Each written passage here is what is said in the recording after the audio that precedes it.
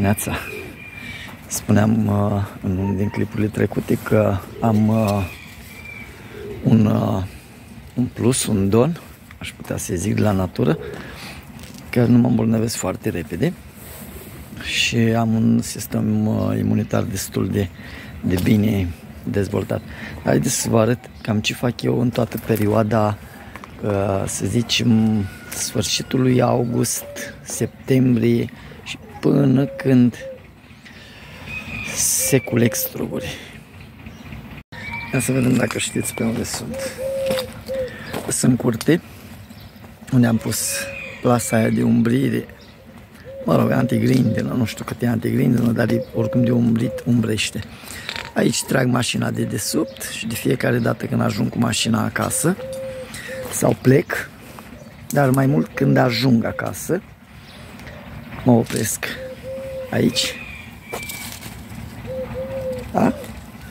și iau un struguri. Același lucru îl fac și dimineața.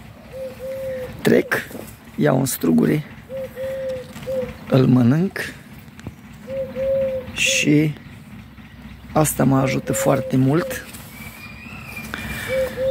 pe lângă plăcerea de a, de a consuma un produs de la tine din curte, asta mă ajută foarte mult pentru a-mi păstra pentru a-mi păstra sănătatea. Uh, un singur lucru știu, sau un singur lucru am să spun în momentul ăsta, strugurii sunt foarte buni pentru a fi consumați de persoanele care suferă de anemie. Deci, nu o să mănânc struguri aici ca să vedeți voi cum mănânc eu struguri, pentru că voi știți cum să mănâncă strugurii. Uh, dar uh, asta e bine ca să să faceți și voi. Dacă aveți struguri acasă, dacă nu cumpărați, cred că un struguri pe zi face foarte, face foarte bine.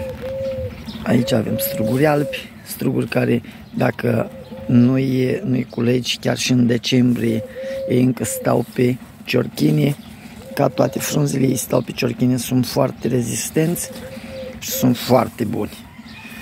Uh, nu mă laud cu, cu strugurii care i-am, nu despre asta era vorba, uh, doar atât am vrut ca să, să specific din plăcerea de a consuma produse de la tine din curte, din grădină, am vrut ca să punctez plusurile care ți le aduc și nu ai nevoie ca să dai repede fuga la farmacie. Știți, eu sunt un pic antifarmacie. Antifarmacie, antitratamente. Da, cât despre măseaua aia cu accesul la care tinde ca să apară, am rămas totuși la propolis și uh, ceai de, de mușețel și ceai de pojarniță. Da, vă salut, consumați struguri pentru a nu suferi de anemie.